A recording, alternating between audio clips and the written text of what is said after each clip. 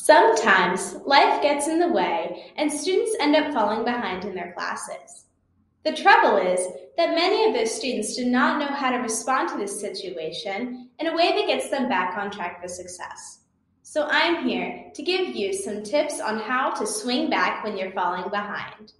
As Theodore Roosevelt once said, the worst thing you can do is nothing.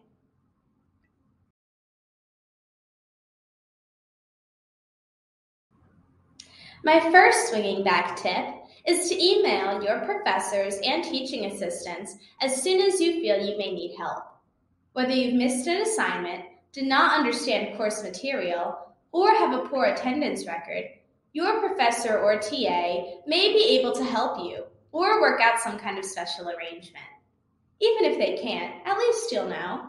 And they may be able to help you avoid making the same mistakes in the future or direct you to other university resources.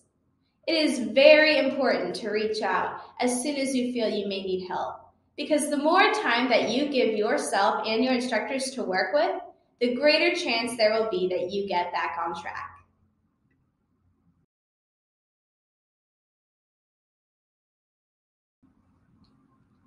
Sometimes there is one root issue that will leach negativity into other aspects of our lives.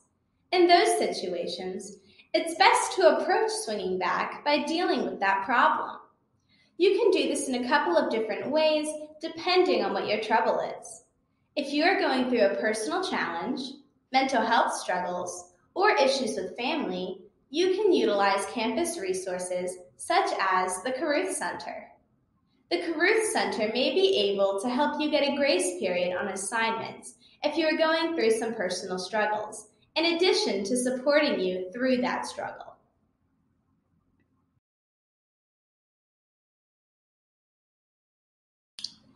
If you find that the issue is more of a problem with your mindset or routine, try to think of some new ways to get yourself back into a productive groove. Some of my favorite tricks are reorganizing my room, changing up my gym times, and just hopping in the car or PRT and going for a ride to nowhere.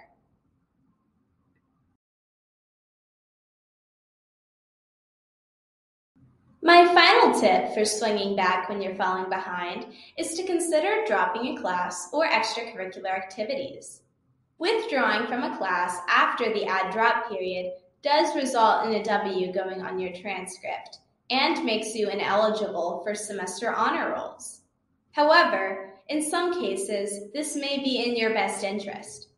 If a specific class is causing you so much stress that it's impacting your performance in other classes and in daily life, you may want to consider whether or not it would be worth dropping it and taking it over the summer or next semester.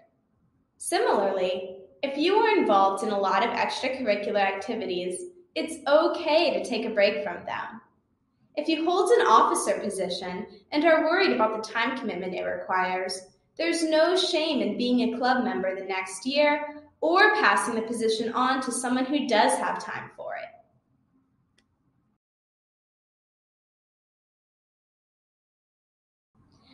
Your course load and involvement do not define you.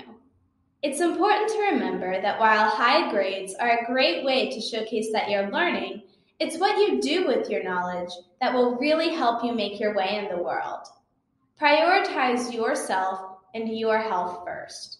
And remember that it's never too late to try to swing back when you're falling behind.